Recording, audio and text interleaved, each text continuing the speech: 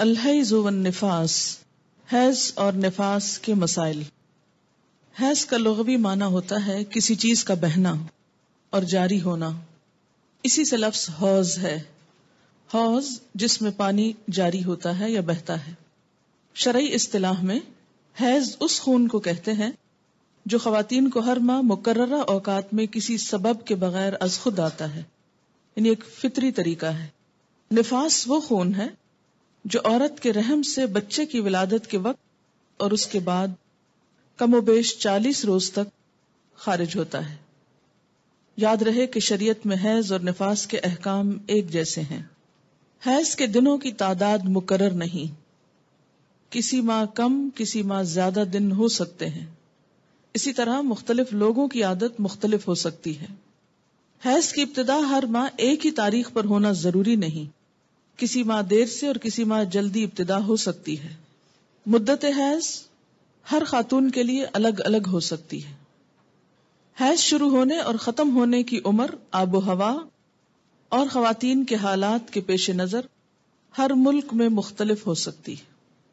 अन आयशत रदियल्लाहु अन्हा अन्न नबी सल्लल्लाहु अलैहि वसल्लम क़ाला इदा अक़बलतिल हैज़तु फत्रुकिस सलाता, व इदा अदबरत फगतसिली नसाई हज़रत आयशा रज़ी अल्लाह ताला अन्हा से रिवायत है कि नबी अकरम सल्लल्लाहु अलैहि वसल्लम ने फरमाया जब हैज़ आए तो नमाज़ छोड़ दो और जब खत्म हो जाए तो गुसल कर लो और नमाज़ पढ़ो इसे नसाई ने रिवायत किया है वो इदा अदबरत फख्तसिली जो है हदीस के अल्फाज में तो सिर्फ़ नहाने तक की बात है लेकिन चूँकि शुरू में छोड़ने की बात है तो इसलिए मुकम्मल ये बात जब भी होती है वजाहत के साथ कि नमाज़ फिर से शुरू कर दी जाए। तो इससे क्या पता चलता है? जब हैज़ आए और जब खत्म हो जाए। तो जब का मतलब क्या है? कि हर एक की आदत मुख्तलिफ़ हो सकती है। हालत हैज़ में औरत का जिसम और कपड़े दोनों पाक होते हैं। यानी जिसम इसमें कोई बजाहिर नापाकी नहीं होती। मसलन हाथ पाक है। अगर औरत आटा गूंदना चाहे तो आटा हाथों से नापाक नहीं हो जाएगा। अगर पानी पिए तो उसका बचा हुआ पानी नापाक नहीं होगा। अगर किसी चीज़ को छू ले तो वो चीज़ नापाक नहीं होगी। मसलन वो ज़मीन पे चल फिर रही है तो ज़मीन धोने की ज़रूरत नहीं। अगर किसी दीवार को हाथ लगाती है तो दीवार धोने की ज़रूरत नहीं। जिस बिस्तर पे सोती है उस बिस्तर को धोने की ज़रूरत नहीं। जो कपड़े पहनती है उन कपड़ों को धोने की ज़रूरत नहीं। इल्ला ये कि कोई जाहिरी नजासत साथ लग जाए। हायजा के हाथों का खाना किसी का कंगी करना और उसका जूठा खाना, ये जायज़ है। अनायशत रदी अल्लाह अनहा क़ालत कुन्तु अशरबु व अना हाइदुन सुम्मा उनाविलुहु नबी सल्लल्लाहु अलैहि वसल्लम अला मौदिअ फिया, फयशरबु। व अलअर्क़ व अना हाइदुन सुम्मा उनाविलुहु नबी सल्लल्लाहु अलैहि वसल्लम अला मौदिअ फिया।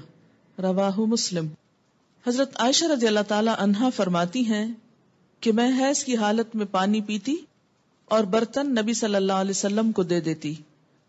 आप बर्तन से उसी जगह मुँह रखकर पानी पीते जहाँ से मैंने मुँह रखकर पानी पिया होता। और बताना क्या मकसूद है इस हदीस को बयान करके कि हायजा औरत के लुआब दहन में भी कोई नापाकी नहीं होती। इसी तरह हड्डी से गोश्त खाकर नबी सल्लल्लाहु अलैहि वसल्लम को देती तो आप उसी जगह से खाते जहाँ से मैंने खाया होता। इसे मुस्लिम ने रिवायत किया है।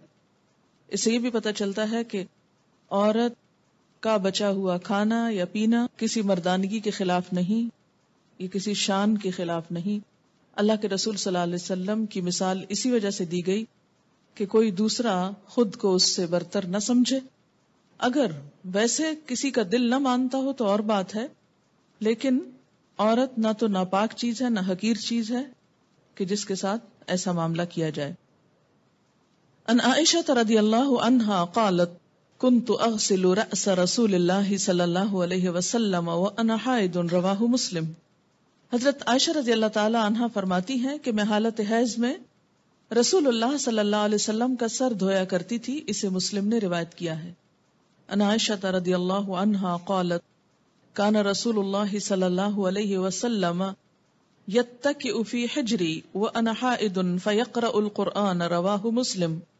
हज़रत आयशा रज़ी अल्लाह ताला अनहा फरमाती है कि रसूलुल्लाह सल्लल्लाहु अलैहि वसल्लम मेरी गोद में तकिया लगाकर कुरान पाक की तिलावत फरमाते, हालाँकि मैं हालत हैज़ में होती, इसे मुस्लिम ने रिवायत किया है। अन आयशा रदी अल्लाह अनहा अन्नहा क़ालत, काना रसूलुल्लाह सल्लल्लाहु अलैहि वसल्लम युदनी इलैया रअसहु व अना फ़ी हुजरती फउरज्जिलु रअसहु व अना हाइद रवाहु मुस्लिम हज़रत आयशा रज़ी अनहा फरमाती हैं कि रसूलुल्लाह सल्लल्लाहु मस्जिद में बैठे बैठे अपना सर मेरे नज़दीक करते जबकि मैं अपने हुजरे में होती क्योंकि मस्जिद और हुजरे के दरमियान को खास फासला नहीं था बस एक छोटी सी पार्टीशन थी पर्दा जिसे लटका हो जबकि मैं अपने हुजरे में होती और आप सल्लल्लाहु अलैहि वसल्लम के सर में हालत हैज़ में कंगी कर दिया करती इसे मुस्लिम ने रिवायत किया है इससे क्या पता चलता है जहाँ ये तमाम उमूर की वजाहत की गई कि हालत हैज़ में औरत को हाथ लगाना या औरत का वाइस वर्षा शोहर को हाथ लगाना या बच्चों को या किसी भी इंसान से मुसाफा करना तो ये सब चीज़ें जो हैं, ये जायज़ हैं। बज़ाहिर ये एक नॉर्मल हालत है। ऐसे ही है जैसे किसी का वज़ू ना हो और वो सब काम करता फिरे तो नमाज़ तो नहीं पढ़ सकता, लेकिन उसका बाकी जिसम बज़ाहिर नापाकी ना हो तो कोई नापाक नहीं हुआ करता।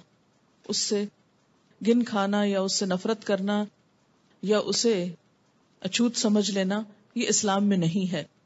दूसरी चीज़ यहाँ से ये पता चलती है कि एक शोहर और बीवी के बाहमी ताल्लुकात कैसे होने चाहिए और दोनों के दरमियान बाहम एतमाद और करीबी ताल्लुक की कैसी फजा है। हैज़ की हालत में औरत का बोसा लेना जायज़ है। अन मैमूना तरदी अल्लाह अनहा कौलत काना रसूलुल्लाह सल्लल्लाहु अलैहि वसल्लम युबाशिरु निसाअहु फौकल इजारे वहुन्न हुय्यत। रवाहु मुस्लिम। हज़रत मैमूना रज़ी अल्लाह ताला अनहा फरमाती हैं कि रसूलुल्लाह सल्लल्लाहु अलैहि वसल्लम अपनी अजवाज मुतहरात से बोसो किनार फरमा लिया करते थे। हालाँकि वो हालत हैज़ में होती, इसे मुस्लिम ने रिवायत किया है। हालत हैज़ में औरत से नफरत करना या खाने पीने का अलहदा तमाम करना नाजायज है, दुरुस्त नहीं, क्योंकि वैसे भी इस हालत में हार्मोनल चेंज की वजह से औरत के अंदर स्टेबिलिटी नहीं होती। बसाव का छोटी छोटी बात पर नागवारी और दिल छोटा करना और आँसू बहाना इन दिनों में अमूमन बढ़ जाती है ऐसी कैफियत। तो उसमें अगर उसको बिल्कुल ही एक तरफ़ फेंक दिया जाए तो इससे अजवाजी ताल्लुकात जो है वो मुतासर हो सकते हैं।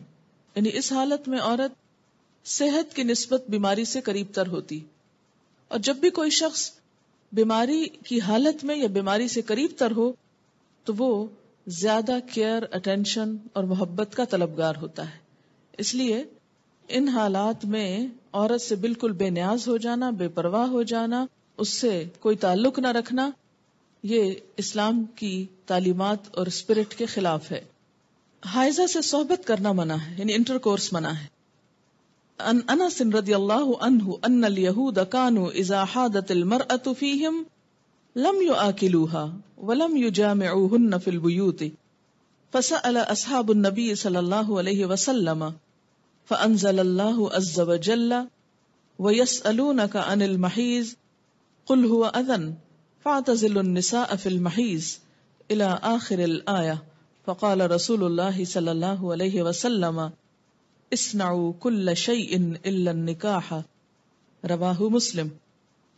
हज़रत अनस रज़ी अल्लाह तहु से रिवायत है कि यहूदियों के यहाँ जब कोई औरत हायजा होती तो यहूदी उसके साथ खाना न खाते, न घर में रहते। साहब कराम रज़ी अल्लाह ने रसूलुल्लाह सल्लल्लाहु से मसला दरियाफ्त किया।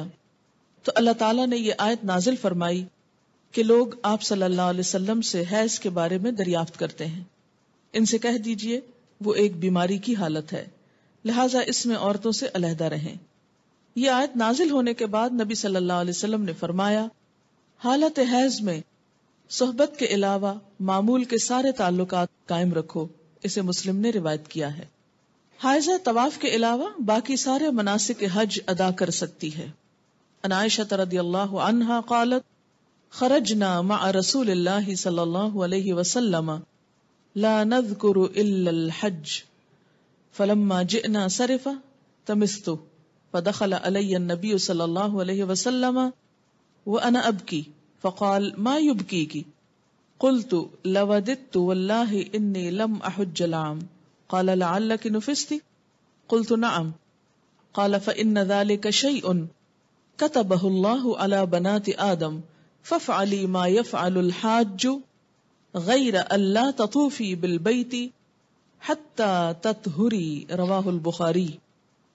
हज़रत आयशा रज़ी अल्लाह अनहा फरमाती हैं कि हम अलैहि वसल्लम की रफाकत में हज के इरादे से निकले, मकाम सरफ पर एक जगह का नाम है।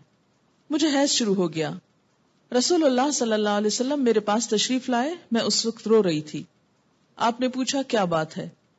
मैंने अर्ज़ किया, अगर मैं इस साल हज का इरादा न करती तो अच्छा था। हजूर सल्लल्लाहु अलैहि ने फरमाया, शायद तुम्हें हैज़ आया है। मैंने अर्ज़ किया हाँ आपने फरमाया, ये एक ऐसी चीज़ है जो अल्लाह ताला ने आदम की बेटियों के लिए लिख दी है। लिहाजा जब तक पाक न हो जाओ, बैतुल्लाह शरीफ का तवाफ न करो, बाकी सारे मनासिक हज अदा करती रहो, इसे बुखारी ने रिवायत किया है। बाकी मनासिक हज क्या है? मसलन एहराम पहनना, इसी तरह अरफात जाना, मिना जाना, कंकरियाँ मारना ये तमाम चीज़ें दुरुस्त हैं, लेकिन तवाफ नहीं हो सकता। शुरू में सही हो सकती थी, लेकिन चूँकि अब वो मस्जिद का हिस्सा हो गई है, इसलिए सही करना भी दुरुस्त नहीं। हाइजा नमाज़ पढ़ सकती है, न रोजा रख सकती। यानी ना नमाज़ पढ़ सकती है, ना रोजा रख सकती। तो अब कितनी चीज़ें मना हो गई? तवाफ, नमाज़, रोजा। हैज़ शुरू होते ही रोजा खत्म हो जाता है। खास सूरज गुरूब होने से एक लम्हा ही पहले क्यों ना आए?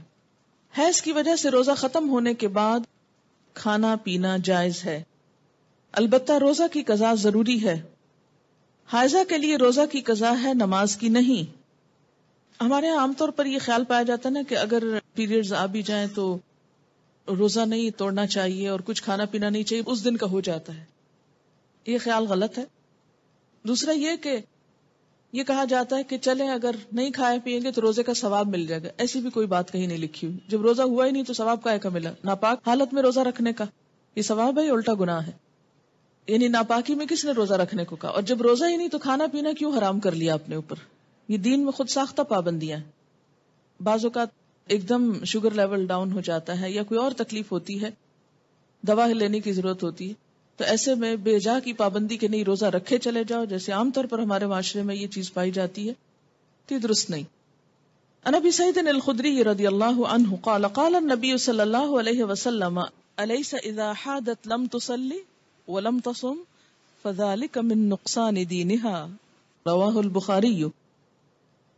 हजरत अबू सईद खुदरी रजी अल्लाह अनहु कहते हैं कि नबी अकरम सल्लल्लाहु अलैहि वसल्लम ने फरमाया क्या ऐसा नहीं कि जब औरत को हैज आए तो ना नमाज़ पढ़ सकती है, ना रोजा रख सकती है। औरतों के दीन में कमी की यही वजह है। इसे बुखारी ने रिवायत किया है। यानी बहरहाल जब नमाज़ नहीं पढ़ेंगे तो उसका सवाब तो नहीं ना। ये अलग बात है कि वो एक माजूरी की हालत है तो ऐसे में इसको कम्पनसेट करने के लिए कोई ज़िक्र, अजकार और तस्बीहात कसरत से करनी चाहिए। इससे न सिर्फ़ ये कि वो सवाब का नुकसान पूरा होता है, बल्कि जो डिप्रेशन की एक हालत आने लगती है, उसका इजाला भी हो जाता है। आजमा कर देख सकते हैं। और नुकसान दीन हा के कई एक माने हैं। ये जो अरबी लफ्ज है ना, नुकसान दीन। नुकसान अरबी में कमी को कहते हैं। कुरान पाक में आपने पढ़ा ना, वाला नबलू मिनल जू नक्स मिनल अमवाल। नक्स नक्स उर्दू में कहते हैं खराबी को। ठीक है? ये मैं इसलिए यहाँ पर वाजे करना चाहती हूँ क्योंकि बहुत से लोग जो इन अल्फाज का सही माना और रूह नहीं समझते, वो बसा औकात औरतों को प्रोवोक करते हैं। ये कहकर, देखो, इस्लाम ने तुम्हारे साथ कैसी ज्यादती की और इस्लाम में तो औरत को कोई हैसियत ही नहीं दी गई। उसके दीन में भी नक्स बताया गया तो नक्स और नुकसान कमी के लिए है, किसी ऐब और खराबी के लिए नहीं। अब आप देखिए कि नमाज़ में तो कमी होती है, लेकिन उस वक्त में जो तकलीफ़ की या अजियत की कैफियत होती है, उसका सिला भी मिलता है क्योंकि अल्लाह ताला ने लिख दिया ना ये। तो जो चीज़ अल्लाह ताला की तरफ़ से आती है, उस पर इंसान सब्र करे, जैसे बाजू को पेन बहुत है या कोई और ऐसी कैफियत है तो ये ऐसे हालात में सब्र करना जो है, वो अजर का सबब है। अगर इधर से कमी हुई तो उधर से बढ़ भी गया अजर, ठीक है? दूसरी बात यह कि कमी से मुराद नमाजों की तादाद में कमी है, जिसको आप बाद में आम हालात में नफल वगैरह पढ़ के भी पूरा कर सकते हैं, या फिर ये कि कमी से मुराद इस एतबार से कमी भी है कि एक मसलन तहजद की रूटीन आप बनाते हैं, या नमाजों में खुशू खुजू की रूटीन बनाते हैं। एन अभी आप उस हालत में होते हैं कि नमाज़ छूट जाती है, अब क्या हो गया? ना सिर्फ़ ये कि वो चंद दिन नमाजों की कमी, बल्कि दोबारा एक अच्छी हालत में आने के लिए, दोबारा से नई आदत बनाने के लिए फिर एक मुश्किल पड़ जाती। तो बाजुकात लोग नमाज़ ही छोड़ देते। वो मुश्किल आदत पड़ने लगती है कि छुट्टी हो जाती है और छुट्टी होते ही फिर छुट्टी कर ली जाती है साथ। ये बिल्कुल ऐसे ही जैसे यहाँ आपको छुट्टी दी जाती है तो आपकी तसल्ली नहीं होती जब तक आप एक आध छुट्टी और साथ कर न ले तो ये एक इंसानी नफ्सियात भी है। इससे फिर दीन में पीछे रहने का अंदेशा होता है। ये बता के अलार्म किया गया है ना कि कोई ऐप बताना मकसूद है? कि अगर आपको ये बताया जाए कि आपके बिज़नेस में या फला चीज़ में कमी हो जाती है इस चीज़ से तो आप क्या सोचते हैं? बिज़नेस छोड़ दो? काम ही छोड़ दो? नहीं, आप सोचते हैं अच्छा उस कमी को फिर और कहाँ से पूरा करूँ? किसी भी चीज़ में, जब किसी भी चीज़ की कमी का सबब बनता है और उसको बताया जाता है, ये कमी होने लगी है।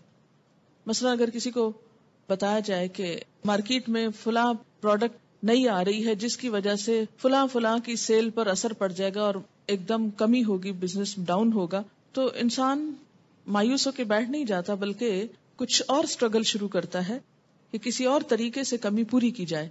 तो यहाँ भी जब यह बताया गया कि मैं नुकसान दीन हाथ तो इसका मतलब यह है कि इस कमी को किसी और तरीके से पूरा किया जाए, ये एक खैरखाही भी हो सकती। है अच्छा नमाज़ ना पढ़ने का सबब क्या है?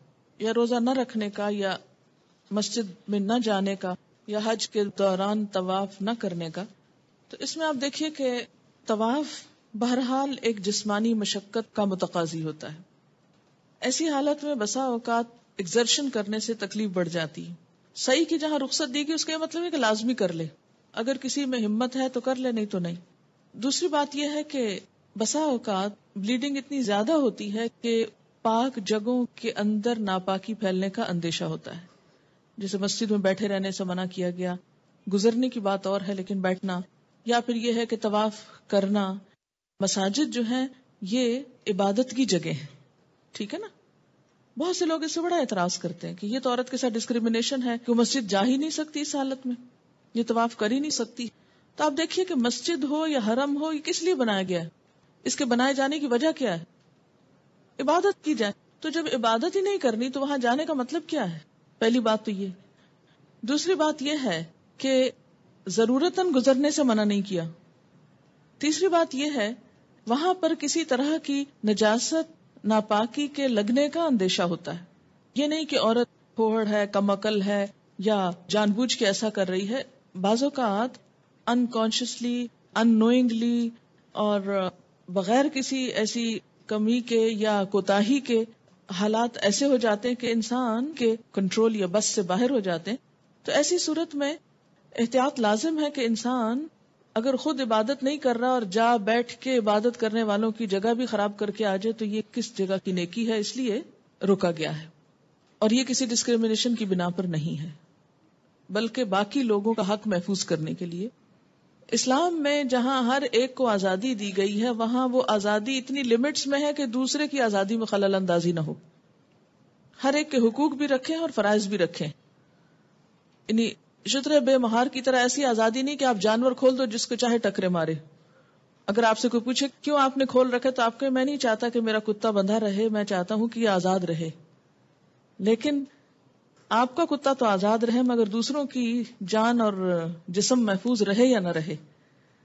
तो इस्लाम ऐसी आज़ादी नहीं देता कि जिससे दूसरों की आज़ादी में खलल पड़े, या दूसरों की सहूलत में तंगी पड़े। बहरहाल, इसी तरह यह है कि रोज़े से क्यों मना किया गया? तो जैसे पहले भी मैंने अर्ज़ किया कि यह हालत सेहत की निस्बत बीमारी से करीब तर होती है।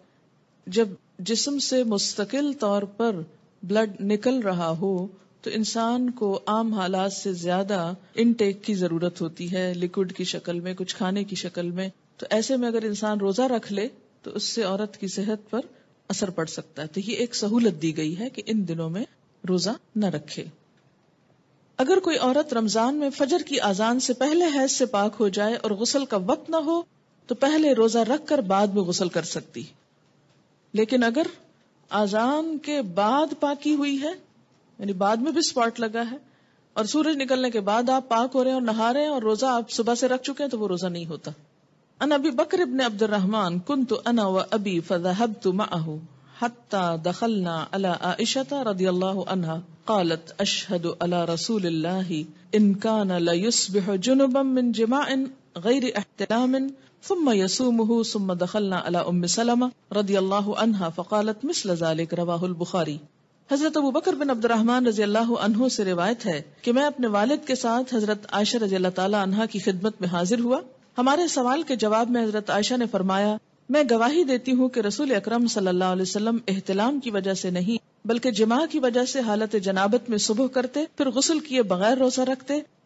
इसके बाद हम दोनों हज़रत उम्म सलमा रज़ी अल्लाह ताला की खिदमत में हाजिर हुए तो उन्होंने भी ऐसा ही फरमाया। इससे क्या पता चलता है? हालत जनाबत में सहरी खाई जा सकती है, अगरचे नमाज़ से पहले नहाना ज़रूरी है, फिर नमाज़ नहा के पड़ी जाएगी इसे बुखारी ने रिवायत किया कपड़े पर हैज़ के खून का दाग लग जाए तो इतनी जगह धोकर उसी कपड़े पर नमाज़ अदा की जा सकती है। मसलन जाय नमाज़ को लग गया, या किसी चादर पे लग गया, या अपने पहने हुए कपड़े पर लग गया तो सिर्फ़ उस दाग को धो लिया जाए और बाकी कपड़े को वैसे ही पहनकर नमाज़ पढ़ ली जाए खा उसमें पसीना ही क्यों ना हो हालत हैज़ का अनायशत रदी अल्लाह अनहा कालत कानत एहदाना तहीदु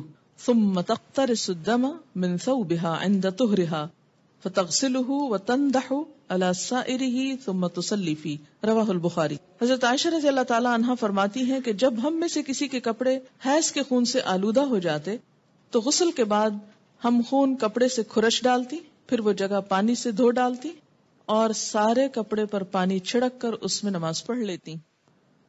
बाजत क्लॉटिंग होती है ना तो इसलिए उसको खुरशने की बात की गई है।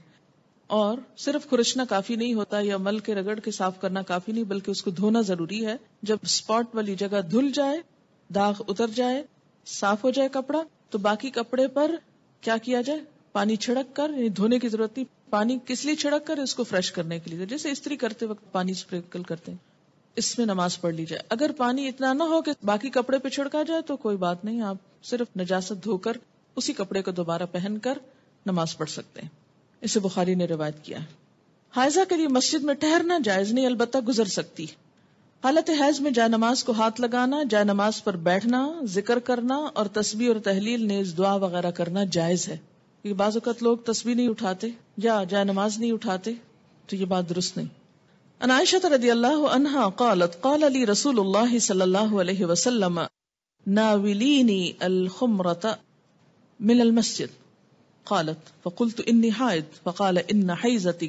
फ़ी यदिक। रवाहु मुस्लिम। हज़रत आयशा रज़ी से रिवायत है कि रसूलुल्लाह सल्लल्लाहु ने मुझे मस्जिद में जाए नमाज़ लाने का हुक्म दिया। जाए नमाज़ लेके मस्जिद आ जाओ। मैंने अर्ज़ किया, मैं तो हालत हैज़ में हूँ। आप सल्लल्लाहु अलैहि वसल्लम ने इरशाद फरमाया, हैज़ तेरे हाथ में तो नहीं है। इसे मुस्लिम ने रिवायत किया है। इसे क्या पता चलता है कि वक्त ज़रूरत, थोड़ी देर के लिए आके कोई चीज़ दे जाना, ले जाना, उठा रख लेना, इससे कोई फ़र्क नहीं पड़ता।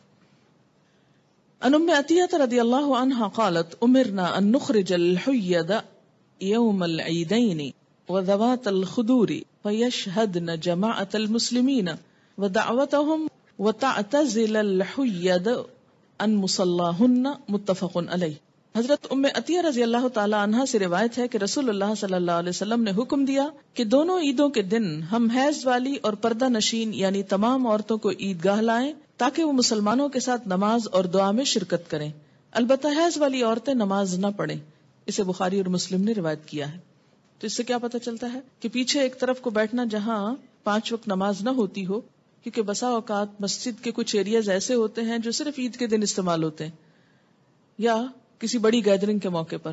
तो ऐसे में एक कोने में बैठ जाना, उसमें हर्ज नहीं, लेकिन मेन मुसल्ले वाली जगह पर आकर बैठना दुरुस्त नहीं।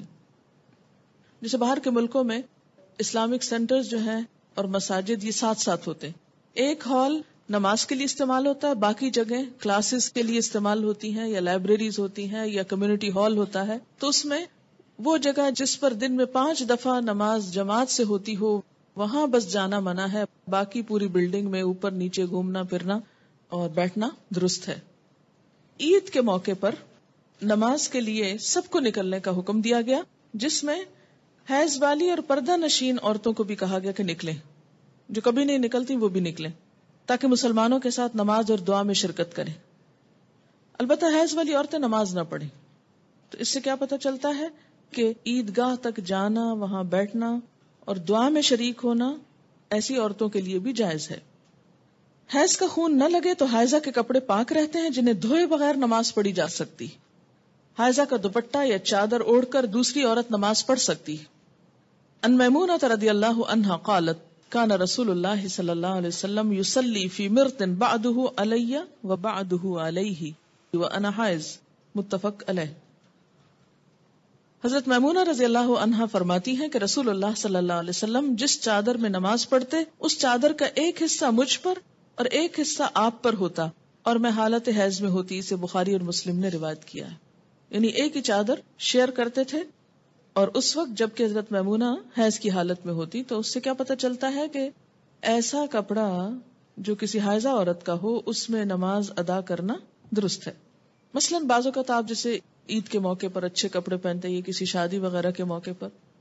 बाद में दोबारा उनको पहनने का मौका आता है तो उनको पहनकर नमाज़ भी अदा कर सकते हैं, उसमें कोई हरज नहीं। सिर्फ़ ये कि नजासत ना हो। हैज़ से पाकिजगी हासिल करने के बाद अगर खाकी, यानी ब्राउन, या जर्द, यानी येलोश पानी खारिज हो तो दोबारा गसल करने की ज़रूरत नहीं। अन उम अतिया तरदी अल्लाह अनहा कालत, कुन्ना ला नउद्दुल कुदरत वस्सुफरत बाद तुहरी शैअन रवाह अबू दाऊद, हज़रत उम्म अतिया रज़ी अल्लाह अनहा फरमाती हैं, हैज़ से पाकिजगी हासिल करने के बाद खाकी या जर्द रंग के पानी को हम कोई अहमियत नहीं देती थी। इसे अबू दाऊद ने रिवायत किया। यानी आप अपने मुकर्रा अयाम पर पाक हो गई, नहाई, नमाज़ पढ़ी, और फिर कुछ घंटे गुजरने के बाद यूँ मालूम हुआ कि येलोश डिस्चार्ज फिर हुआ है तो उसको कंसिडर करने की ज़रूरत नहीं। अब दोबारा नहाने के लिए जहमत ना करें।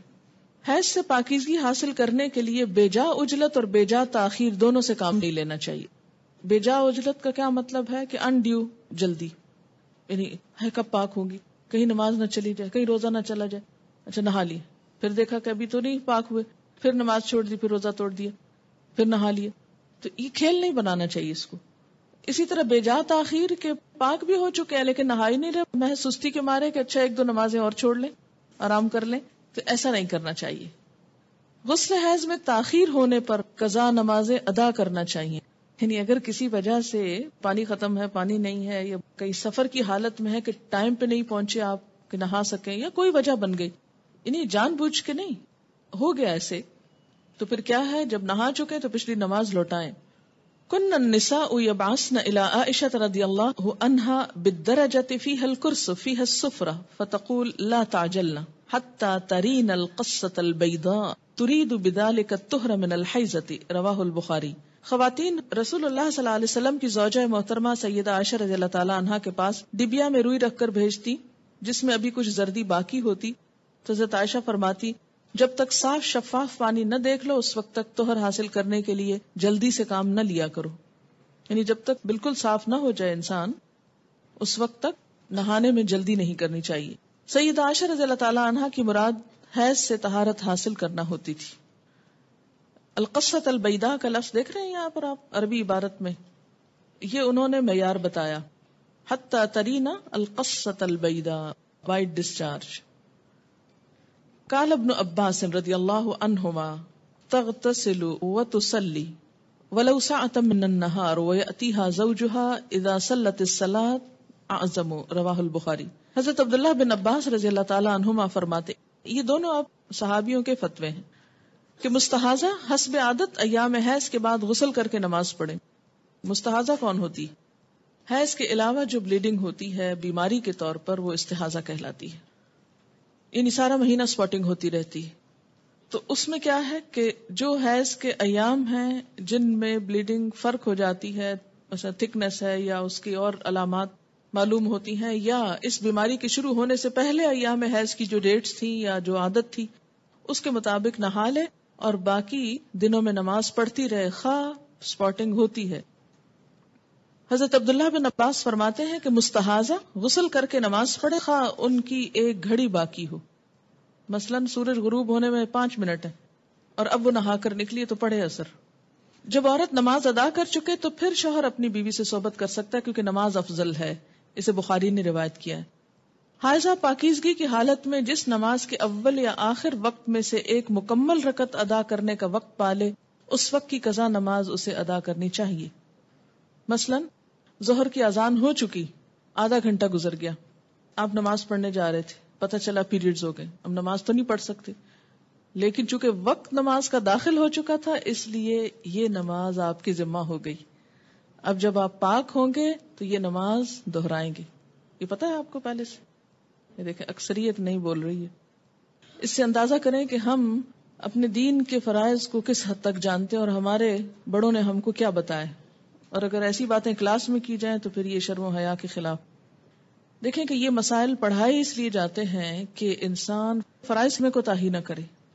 क्योंकि फराइज की पूछ है क्यामत के दिन। और इसी तरह अगर असर का वक्त, मसलन खत्म होने से आधा घंटा पहले पाकी हासिल की, अब नहाने में बीस मिनट लग गए, दस मिनट बाकी हैं, और जितनी देर में मुसल्ला बिछाया मगरब की नमाज़ हो गई। बाजू कहते हैं ना, सर्दी होती है, दरवाजे बंद करते, जाए नमाज़ बिछाते, करते, टाइम हो जाता है। इतने में अजान होगी। अब मगरब पढ़ के क्या करे? असर कजा पड़े। अन अबी हुरैरा तकाल, काल रसूलुल्लाह सल्लल्लाहु अलैहि वसल्लम व नहनु सुजूदुन वला तादूहा शैअन वमन अदरक रकअत फकद अदरक सलात रवाहु अबू दाऊद हज़रत अबू हुरैरा रज़ी अल्लाह अन्हु कहते हैं कि रसूलुल्लाह सल्लल्लाहु अलैहि वसल्लम ने फरमाया जब तुम नमाज़ के लिए आओ और हम सजदा में हो तो तुम भी सजदे में शामिल हो जाओ और उसको रकत शुमार न करो अलबत्ता जिसने एक रकत जमात के साथ पाली उसने पूरी जमात का सवाब पा लिया इसे अबू दाऊद ने रिवायत किया है नमाज़ का अव्वल वक्त पाने से मुराद ये है कि अगर एक औरत सूरज गुरूब होने के इतनी देर बाद हायजा होती है कि नमाज़ मगरब की एक रकत अदा कर सके, इसे हैज़ खत्म होने के बाद उस नमाज़ मगरब की कजा अदा करनी चाहिए।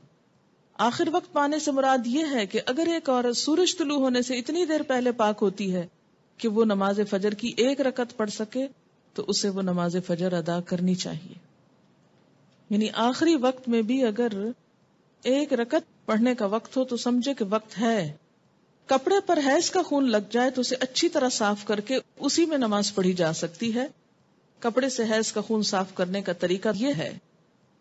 अन अस्मा बिनत अबी बकर रदियल्लाहु अन्हुमा क़ालत, जाअत इम्रअतुन इला नबी सल्लल्लाहु अलैहि वसल्लम, फ़क़ालत इहदाना युसीबु सौबहा मिन दमिल हैज़ति कैफ तस्नउ बिही? फ़क़ाल तहुत्तुहु सुम्म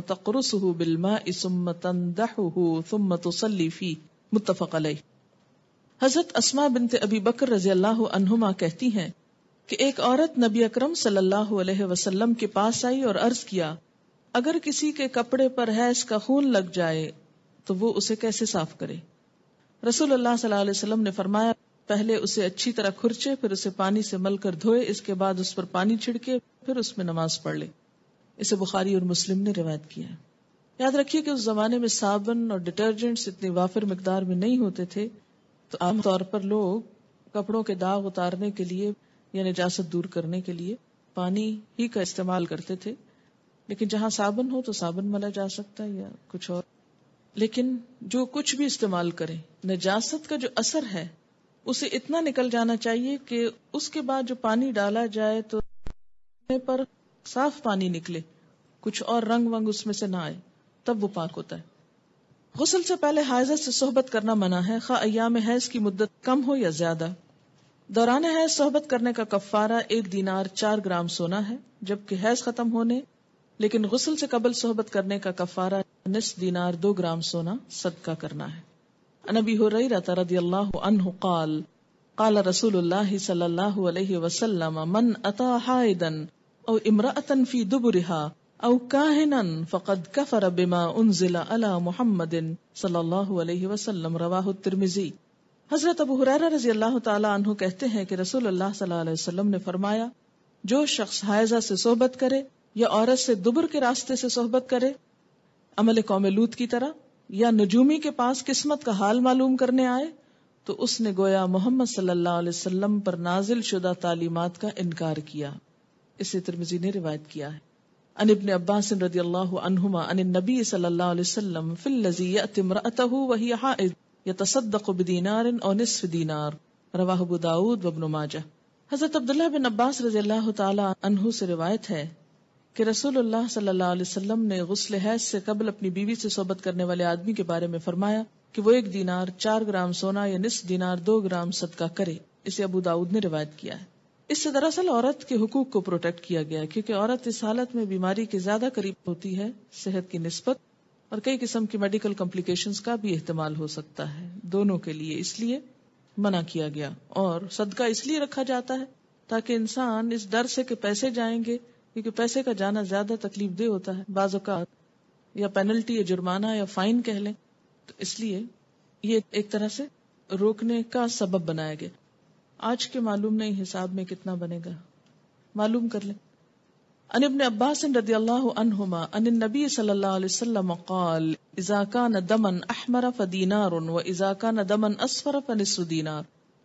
रवाह तिरमिजी हजरत अब्दुल्लाह बिन अब्बास से रिवायत है कि नबी सल्लल्लाहु अलैहि वसल्लम ने फरमाया जब हायजा के खून की रंगत सुर्ख हो और उससे सोबत की जाए तो एक दीनार सदका है अगर खून की रंगत जर्द हो तो निस्फ दीनार सदका है इसे तिरमिजी ने रिवायत किया है निस्फ दीनार क्या है दो ग्राम?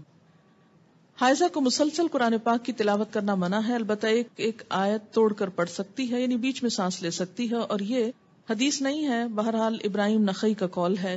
काला इब्राहिम रवाहुल बुखारी। हज़रत इब्राहिम नखी कहते हैं कि हायजा कुरान मजीद की एक आयत पढ़ ले तो कोई हरज नहीं। इसे बुखारी ने रिवायत किया है। यानी इस मामले में उलमा और फुकाहा के दरमियान इख्तलाफ है, बास कहते हैं कि आयत में सांस ले ले बीच में, कट्ठी ना पढ़े और बाज ये कहते हैं कि अगर पढ़ ले तो हरज कोई नहीं है, क्योंकि किसी सही हदीस में मना नहीं किया गया। एक रिवायत मिलती है मगर वो ज़यीफ है।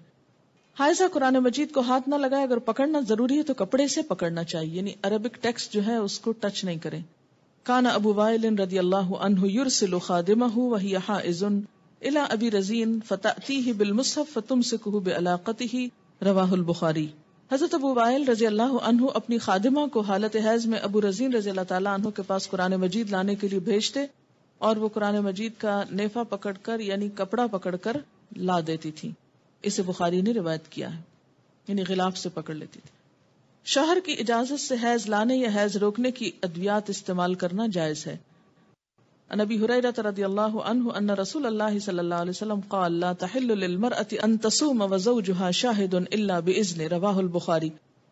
हजरत अबू हुरैरा रजी अल्लाह अनहु से रिवायत है कि रसूलुल्लाह सल्लल्लाहु अलैहि वसल्लम ने फरमाया कोई औरत अपने शौहर की मौजूदगी में उसकी इजाजत के बगैर नफली रोजा न रखे से बुखारी ने रिवायत किया इससे इन्होंने वो जो टैबलेट्स आजकल इस्तेमाल होती हैं उसको क्यास करते हुए इस हुक्म पर उनमें भी शोहर का मशवरा जरूरी करार दिया है लेकिन एक बात इनको और भी लिखनी चाहिए थी और वो थी कि डॉक्टर का मशवरा भी। इसलिए कि बाज लोगों को ऐसी टेबलेट्स का इस्तेमाल बहुत नुकसान देता है, उनके सारे सिस्टम को डिस्टर्ब कर देता है। इसलिए खुद से खुद आम औरतों के मशवरे से कि ऐसा हो गया, वैसा हो गया, ये फ़ायदा और वो नुकसान हुआ, ऐसी बातों पर तवज्जो नहीं देनी चाहिए। हर शख्स की जैसे आदत मुख्तलिफ़ होती है, सिस्टम मुख्तलिफ़ होता है तो उसको इसके इस्तेमाल से पहले कंसल्ट करना चाहिए डॉक्टर से, क्योंकि खुद को नुकसान देना, अपने निज़ाम को बदलना और उसमें डिस्टर्बेंस पैदा करना दुरुस्त नहीं।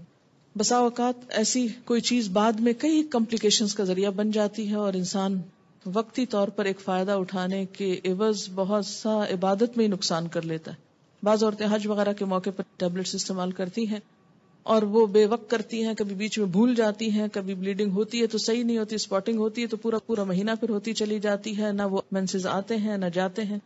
इसलिए ऐसा करने से पहले सारे हालात का जायजा लेना ज़रूरी है। और शौहर की बात यहाँ इसलिए की गई है कि शौहर और बीवी का चूँकि एक बहुत करीबी ताल्लुक है, दोनों का नफा नुकसान एक है, घर एक है, इसलिए किसी भी ऐसी चीज़ में जिसमें दोनों की बराबर की मसलहत हो, खुद से ऐसे काम करना दुरुस्त नहीं, क्योंकि इससे बसा अवकात इख्तलाफात बढ़ते हैं और वो शदीद संगीन सूरत इख्तियार कर लेते हैं। दौरान हैज़ बीवी को तलाक देना मना है। अन अब्दुल्ला इब्न उमरा अन्नहु तल्लक इमराअतहु वहिय हाइद अला अहद रसूलुल्लाह सल्लल्लाहु अलैहि वसल्लम फसअल उमर इब्न अल-खत्ताब रसूलुल्लाह सल्लल्लाहु अलैहि वसल्लम अन ज़ालिक फक़ाल रसूलुल्लाह सल्लल्लाहु अलैहि वसल्लम मुरहु फलयुराजिअहा